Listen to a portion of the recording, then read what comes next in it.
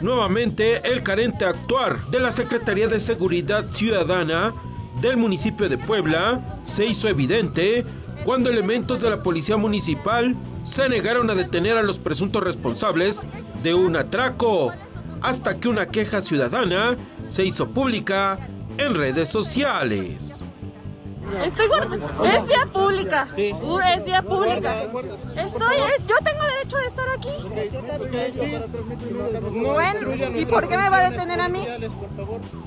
¿Cuál a ver, pero ¿cuáles funciones policiales si yo no veo que esté haciendo algo? Tras caer la noche, dos hombres y una mujer asaltaron una tienda en la colonia Villa Posadas. Con lujo de violencia, golpearon a uno de los encargados del establecimiento, el cual se encontraba con su esposa y su bebé de siete meses.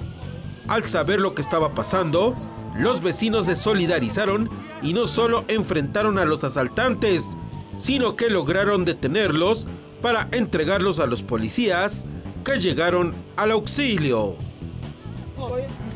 Mire, no, ya los policías, toda la gente Pero en lugar de asegurar a los presuntos delincuentes de forma preventiva, los uniformados se negaron a detenerlos, argumentando desconocer lo que en realidad había sucedido, encarando y amedrentando a quienes exigían que se los llevaran ante el Ministerio Público.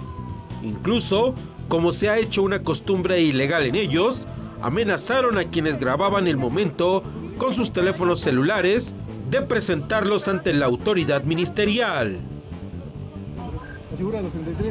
No se los llevaron. y ese es un delito no nos que hemos ustedes... ido, no nos hemos Sí, ido. pero Pero ellos ya se van. No creo. Pero si los tenían acá. Como usted guste. Nosotros platicamos. Su Usted trabajo es su trabajo. ¿Eh? Y no hicieron lo que tenían que ¿Cómo que? hacer.